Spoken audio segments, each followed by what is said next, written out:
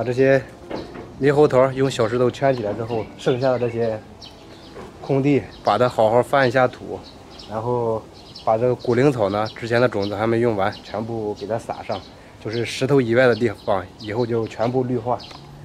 相信等长满骨灵草之后，西边的院子一定会非常的漂亮。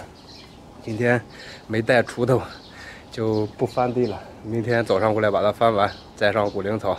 好了，我们明天见。